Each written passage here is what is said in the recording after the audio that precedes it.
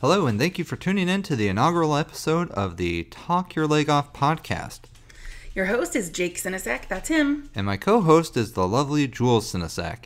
In this episode, we hope to give a little bit of an introduction to ourselves. We'll talk a little bit of wrestling, and we'll t- discuss the new movie, A Star is Born. That's right. Um, so, to get started, a little bit about Jake and I. Um, we are a married couple, which we have the same last name, so I hope that was obvious. We're Um, not a brother sister duo. We're not a brother sister duo, no. Um, a little bit about me. Um, I have mild interest in professional wrestling, um, but it's only since I met Jake that I had a large exposure to wrestling. So that's an interest of mine, but um, I'm getting more interested in it every day. I think Jake's gonna in, introduce me to some old things and some new things. Not only am I going to help introduce you, hopefully our audience will as well. Maybe we'll throw up some polls to see different things that we could discuss on a, a weekly basis, things to go check out. Uh, we'll start watching the weekly products a little bit more. We'll just start covering things a bit, and that way Jules can get a little bit more enlightened about the world of professional wrestling. But for those of you who aren't into professional wrestling, be assured that we will still occasionally, well, and every time we will be talking about something besides wrestling. Um, today we're going to be talking about A Star Is Born, which is a movie we just saw. Um, but also, I love Bravo shows, and I make Jake watch lots of them with me. So I'm sure that we'll end up talking about Below Deck and Real Housewives of Beverly Hills and things like that. Other movies or TV shows we've been watching lately. Other things that we will talk about, um, we've got plethora of pets, and if you hear a clicking and clacking in the background, that is them walking around on With a, needing a nail trim. That's right, walking around on our wood laminate floors, being extra annoying because they know we're recording. I'm sure. I'm sure. So hopefully that's not too annoying, and we will in the future probably try to record somewhere where we can't hear our little furry friends running around. We can only hope. Yeah. Uh, other things that we'll talk about, um, interests of mine are music. I love going to concerts, things of that nature. Um, we'll talk about movies, TV. We'll talk about maybe comic books, comic book movies. A lot of nerdy stuff, really. I would, I would hope. Yeah, probably even some ge- more general stuff just about relationships and marriage and family and things like that. That's right. I mean, we will definitely do our best to Hey, answer any it's our podcast. We can talk about whatever we want. We can. That's the beauty of it. Totally. Um, let's see. Um, one thing that I think Jake and I have in common that I, I hope will translate a lot as you hear us discuss our lives and stuff is that we're both people who are really people who are really committed to constantly trying to improve ourselves. Um, not only for ourselves but for each other. We're constantly trying to grow and improve um, whether it's at work, whether it's at home, whether it's cooking, whether it's going to the gym more, trying to be healthier, um, no matter what it is, we're both really committed to trying to improve ourselves, not only for each other, but for our marriage. That's right. Things that we're hoping to do are maybe start uh, going to the gym better, starting to eat a little bit better, and also we're gonna both be starting DDPY. It's That's something right. I've talked about on Twitter several times, and I just keep needing that extra push to go. And I'm hoping that with this podcast, we can start giving ourselves a little bit of accountability. Yeah, totally. I And- mean, the Twitter community has been so great to us on so many, I mean, so many different ways, but I think that it would be a great way for us to stay motivated. at the very least that we can be held accountable. So if you see that we haven't posted anything for a while about having gone to the gym or you know doing the DDPY, definitely call us out. Give us give us some crap. I mean, a little bit. Don't be like mean about it. well, please. I mean, I will cry. I might even cry in the air. Let's see. One thing that people people who know us from Twitter or have met us at different uh, wrestling events or whatever, one thing you'll know about Jake is that he is a below knee amputee. So he has a prosthetic leg. Usually makes him n- quite noticeable if you if you know him. Um, we'll quickly talk about that. We'll talk about it later, and and it, I mean it's something that we deal with in our everyday life, so I'm sure it'll come up multiple times.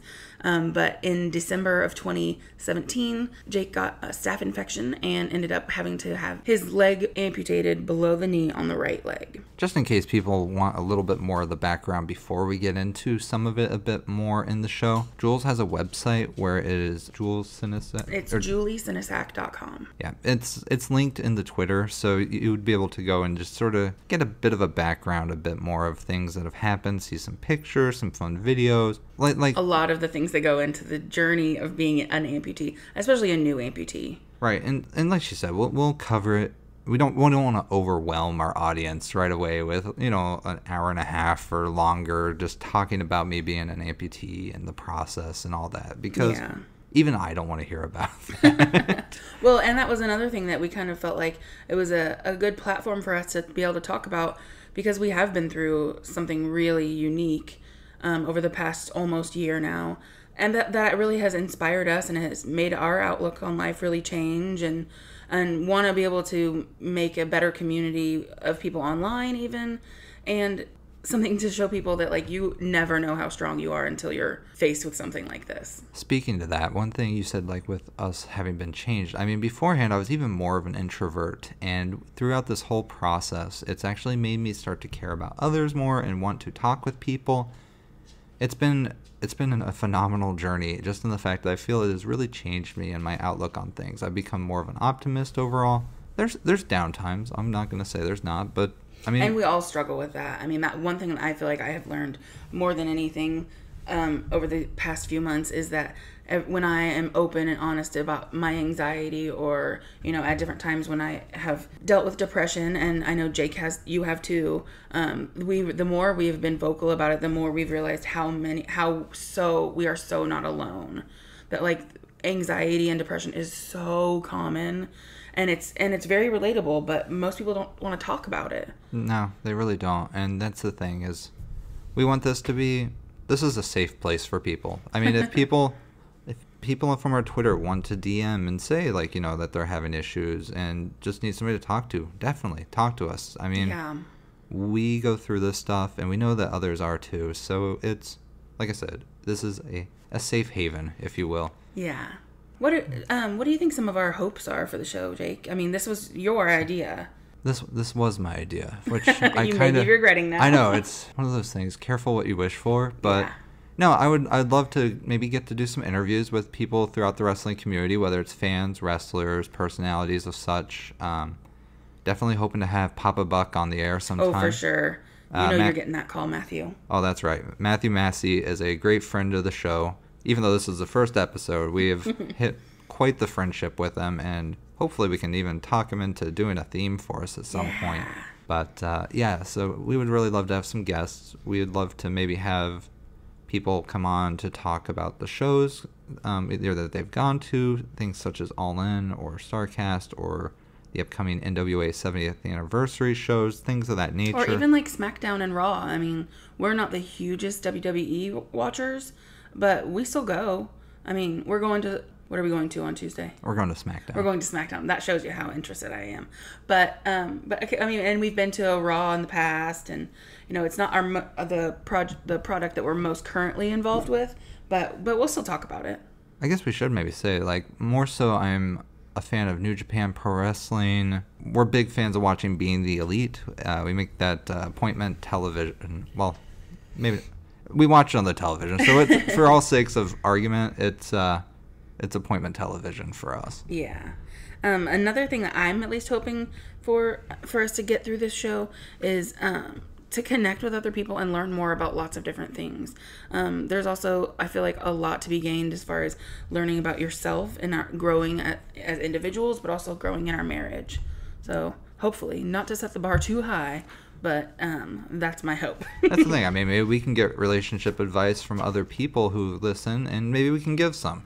yeah, totally. I mean, And, we're not therapists, but you know, but we can play one on Twitter. I mean, well, that's right. That's funny. Um, let's talk a little bit about wrestling, honey. All right, let's let's do it. Who are some of your current favorites?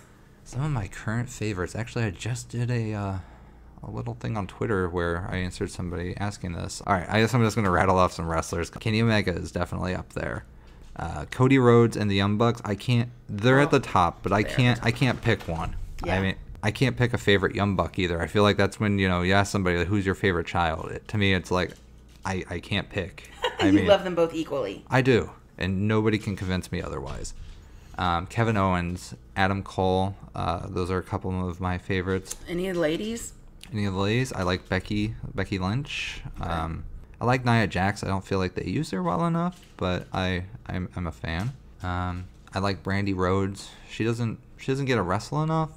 I, I really like the improvement that she's been showing, and I just I love her as a personality as well. We are big fans of her cooking show. A shot of brandy. That's right. Yeah, check that out on YouTube. It's so good. That's right. We haven't ever we haven't yet to make anything, but she's just funny when she when she's making her cocktails and whatever she's making. That's right. And we love all the cameos by their dogs. Yes, for sure. um, I know for me, one person that you didn't mention that I'm a pretty big fan of, Go on. Hangman Adam Page. Well, yeah, I mean, you go on about him all the time every time we've seen him. Well, I mean, just because he's so good and pretty handsome. I was going to say, I wasn't going to let you off the hook without mentioning how handsome he is. No, and he just he inspires me because I feel like knowing that he was a teacher. He was just a teacher, being a road warrior on the weekend. Quite a story there. Yeah. Another one that I really enjoy is uh, Joey Janela. He came onto my radar a bit more with uh, All In, speaking of Hangman Page. But uh, yeah, the match that they just had at All In was just fantastic. And I've become a fan of Joey Janela and the personality he has and just all the different vignettes he does. And it's unfortunate that he's going to be out for Yeah. probably about a year with a, a knee injury. Yeah, that sucks. There was a girl, oh, oh, female wrestler that we saw at All In. I'm not gonna be able to remember her name. if you give me a little, Jordynne. uh, Jordynne Grace. Yes, Jordynne Grace. I was impressed with her. She's the one that wrestled that really big guy. Yes, Brian Cage. Yeah, I don't remember. They wrestled at All In, right? Yes, they were in the uh, over the budget battle royal. Yeah, she was impressive to me. As you can tell, Jules is very, very knowledgeable of wrestler names. I am No, that was that was me being sarcastic. that one guy. You know that one guy. well, well, like I said, one goal is to hopefully get Jules to be a little bit more knowledgeable about wrestling. She doesn't know much about the history except for little bits that I tell her when I typically listen to Conrad Thompson podcast. um, and even then, I know it's very much one ear and out the other. But I'm hoping that maybe with this, we can start making it where I can get a little bit more TV time with watching wrestling and Oh, that's what this is about. I mean, I'd be a liar if I said it wasn't part of the goal. yeah. Normally it's Saturday or Sunday mornings, maybe both. I'm up early at 8 a.m. so I can be watching wrestling for a few hours before she wakes up. Yeah. Um, let's see. Anybody else? I mean, I really liked. I mean, I really like Kenny Omega. I mean, obviously, who doesn't? Obviously, Yeah. Jim Cornette doesn't.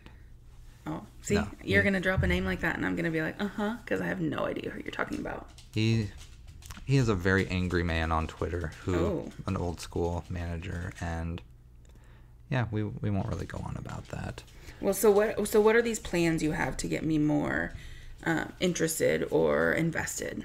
Well, I mean, fortunately, we have the WWE Network and New Japan Pro Wrestling World, so we can just go back through back catalogs. We can watch some classic matches that some of them maybe you have already seen, but you just wouldn't really know much about the context of it. So I would hope that maybe we could talk a little bit about the significance of the match or things that have built up to it, um, maybe fallout from it, and then we could be able to watch the match and then we can give our thoughts about it. Now, generally, my my thoughts are not usually um, as profound as yours. Mine usually involve what what someone looks like, what their outfit is, How majestic AJ Styles' hair how is. How majestic AJ Styles' hair is. That's another one that I am a very big fan of. Oh man, totally. So if you're looking for like quality commentary, this is probably not the podcast for you. Probably not. Maybe one day I'll do a side podcast where we can get a little bit more into that. Me? I, I mean, if we wanted to get a little bit more in depth about Well, things, I mean, true. You never know. Or a special guest co-host with someone who knows what they're talking about. That's that's valid. I mean, because that's the thing. I mean, I just like to keep my options open. Yeah. Well, I do want to say, as as someone who's not necessarily the most knowledgeable or at times interested, um, the one thing I really do like about professional wrestling is that it's really an arena for people who have these amazing physical talents, and they're able to express them in this like really fun, creative, entertaining way. That I never, I never really got that about wrestling until obviously I met and married Jake and realized that professional wrestling was not something that was going to go away in our life. But I think it's it's a fascinating way of doing some amazing storytelling, and that's what I really like. Uh, that I didn't have really any clue about beforehand. So I mean, I think the ability to to take something that like a physical talent and turn it into an entertaining, you know, an entertainment factor. I think that's really fascinating. That's right. It's uh, it's a lot more than just being an athlete, but it's also more than being an actor. It's Right. You, you have to do both. You have to do it live. So Yeah. I mean, that's there's a lot to it, and I know I sure as hell couldn't do it. No way, man. It's it's really cool. Yeah, so Jules had kind of alluded to it earlier, I believe, that uh, we will be going to SmackDown here actually this upcoming Tuesday. Um, for those who are not in the know, we are based out of Indianapolis, Indiana, here in the, the Midwest. The heart of the Midwest. That's right, we are in the heartland. Uh, my cousin Joel went and got tickets for us and his fiance and him, so we'll be going to SmackDown. We had not watched SmackDown in Quite a while. I think the last episode I had seen was the SmackDown uh, after WrestleMania. So So a while. yeah, only like seven months or six months. I don't know. Yeah. But it'll be it'll be um, a fun experience too because especially since since I'm like getting more into wrestling, we're gonna be going with Jake mentioned his cousin and his fiance who, to my knowledge, ha- have n- no interest in wrestling. That's the thing. Jules, she might not be great with names, but at least she knows some people. I would be surprised if they know anybody more than Hulk Hogan, Stone Cold Steve Austin, and The Rock, maybe. That's probably pushing it for their knowledge of anything pro wrestling. Yeah. But, uh, But it's I mean it's still a fun time. I mean, like you can't go to one of these shows and see the just the physical talent that these people have. I mean, I know people give crap because it's predetermined endings, but that makes it even better because it there's no you don't have to win to have a you don't have to win the match to be and have an impressive showing. That's right. Anyway, so yeah, we went and watched SmackDown this week from this week uh, in preparation, and it was not good. I'm. Yeah. I'll be honest. The matches weren't bad overall. Oh, there were were there matches or were there just segments? There were a lot of segments. Um, Because that- I I think uh, how many matches were there? I believe it was four or five. That's it. That's it. Yeah. In two hours, there was four or five matches, and one of them didn't even have an ending. Yeah, it was. I didn't even know that what's her name is the manager. Paige. Paige. She's a general I'm manager, Great if with names will. here again. Right, right. I didn't even know she was the general manager. We should make it known that Jules only knew of Paige from the show Total Divas. Total Divas. which is actually what I kind of used initially as a little bit of a springboard to get. I know he was kind of sneaky. He was like, "This is a reality show. You like Housewives. This is kind of like Housewives." right. And I got sucked in. That's right. Those those dastardly Total Divas just Yeah. bringing you into the sport. Yeah. So, anyways, yeah, we. uh Man, I gotta quit using the word anyways. Well, I'm- it's, it's the first one. I know I shouldn't draw attention to it, but I'm I'm annoying myself here. So I, I hope you all out there are not getting terribly annoyed with it. no. But uh, yeah, the show was a bit of a dud. I hope think- ours will be better. well, I'm gonna jump in. You you said at least you think that maybe it's because so much of this was building up to that Australia show. yeah, the Super Showdown or Yeah. So maybe maybe we can give them a little bit of a pass. We'll see. We'll we'll Yeah. see after when we record next week and talk about how the SmackDown we went to goes. Yeah. Hopefully it'll go well. Hopefully, it's more than four or five matches, and Yeah. hopefully more people show up because it did not seem. I, and I yeah, the crowd wasn't into it. That was, I mean, that's like one thing. I mean, obviously, I haven't been to a ton of shows, but every time I've gone to like a Ring of Honor show or anything like that, the crowd is so amped for everything. And when we watch them on TV, I mean, you can just see the crowd being so into it. And at least on the last week's episode, it did not seem like the crowd was feeling it. I think we're also a little spoiled by the fact that we just saw All In a little over Well, a month ago, yeah. and I mean that was just a phenomenal atmosphere and one of the. I mean, it was easily the best show I've been to live. So, yeah, it just it was a great time, and it's gonna make it very hard to top that for any shows in the near future, I believe. Yeah. So carrying on, um, let's talk about the movie A Star Is Born, starring Bradley Cooper and Lady Gaga. Also named Stefani Germanotta, just as a fun fact. That's Lady Gaga's real name. I am sure our audience was wondering that one. Well, fun fact. I'm gonna bring you a fun fact when I can find one. Fair enough. I'm a I, Fun I'm- fact: Bradley Cooper is dreamy and handsome. that is a fun fact. Also, fun fact. He that's him singing in the movie. I did not know that. Yeah, that's him singing. And another fun fact. Okay. Jason Isbell wrote the. I don't think it's the title song because that's the one that's "Shallow" by Lady Gaga, but wrote one of the main songs for Bradley Cooper's character. And really, if it was a title song, it would be called "A Star Is Born." You oh. mean the like the premiere song Oh. Yeah. or the the big The single, if you will? The big single is "Shallow," which is written by Lady Gaga and some other people. But the Jason Isbell song is the one that I like the most. What's the name of it? Um, Do you know the song titles as well as you know the uh, wrestler, wrestler names? names, yeah. Fair enough. Well, We'll find out. We'll post it on Twitter, possibly, Or if I'll we just cut this part out. Anyways.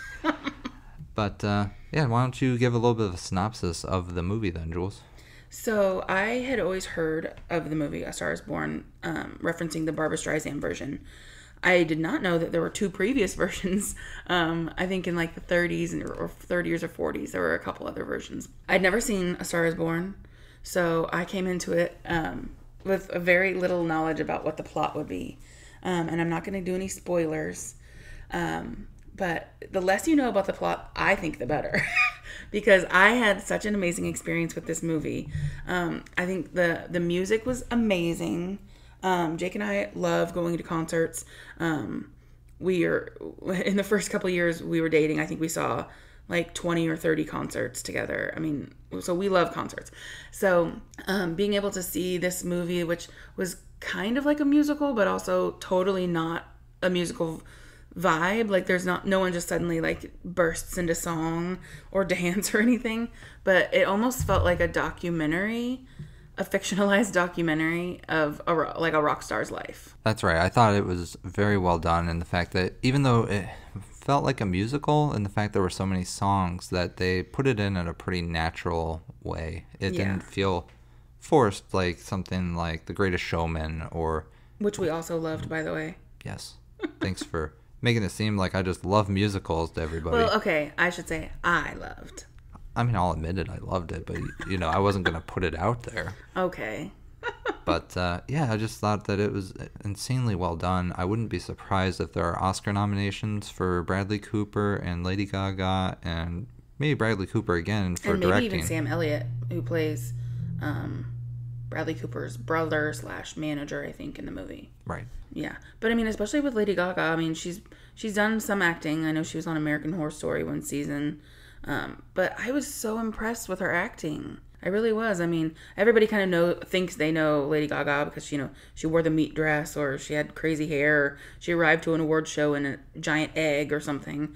Um, but I think it, it's a testament to her talent and her career that she's really come a far a far away from that. She really doesn't need to have those kind of theater antics to to kind of hide who she really is. Like I think she she was really raw in this, especially since it correlates a lot. It could correlate a lot to her own life. Right. You know, it's a very different story than her life, but I'm gonna steal your your gimmick here, and I'm gonna throw out a fun fact. Um, Ooh, a I fun love it. fact is that we last November went and saw Lady Gaga, and that was the last big concert that we saw prior to my surgery. that's true.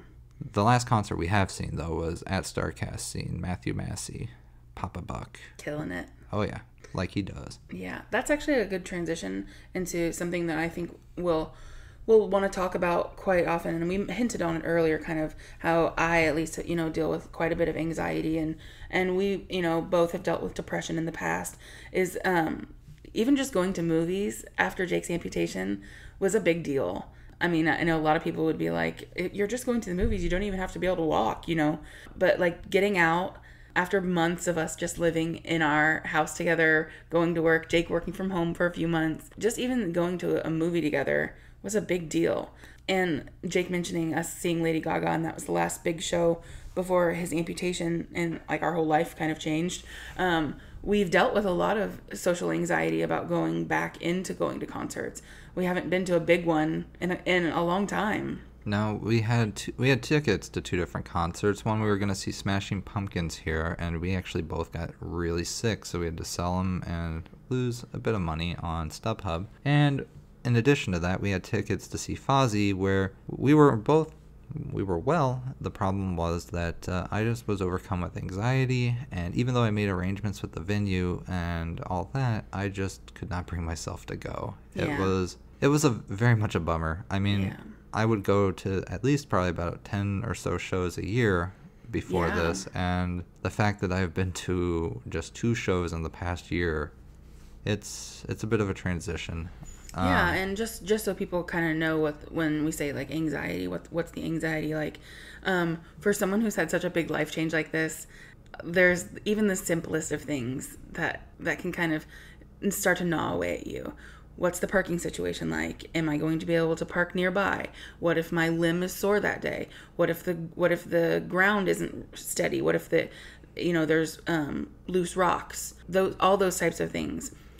Just to for the basics. I mean, let alone like what are the what are the doors like? Is there going to be an elevator? Are the hallways going to be super small? Is the bathroom going to be accessible? You're starting to make me worry a little bit about going to SmackDown this week. Don't we've got this, honey. We I know, do. and we've been to Banker's Life We've enough been to ba- right but those are the type of things that like most people don't associate with you know the idea of like going to a concert that should be so fun and it always has been for us and it, especially for jake it's always been that way i you know have a little bit more of the experience of having the anxiety of what are the seats going to be like where you know what if we get lost what if there's no cell reception um, and that's just that's just a little peek into the life of someone with chronic anxiety Right. What if there's an armed shooter? You know. Right, oh my gosh! I mean that that's that's a, on a level you know that most people could absolutely understand.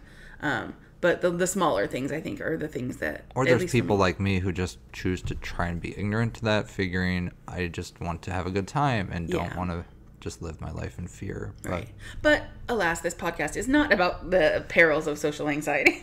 right, that's not a social anxiety podcast. no, it's not. Um, but I hope you guys have really enjoyed listening, and I hope we gave a good enough kind of rounded picture about what this podcast could be. I hope so. I mean, it's our first podcast, so hopefully people will just grade us on a curve a little know. bit. I hope so a little bit, or give us some ideas about things um, that that would be interesting for you to hear us talk about. Right, or definitely send us some, you know, constructive criticism, if you will. Nothing mean, but just you know, mean. like, hey, this this is something you could work on. Yeah. You should, if you would should feel like you want to get in touch with us, Jake, what's your handle on Twitter? It is at that Jake Senesac, And how do you spell Senesac? S E N E S A C. That's right. And you can find me. I'm at Jewleesi.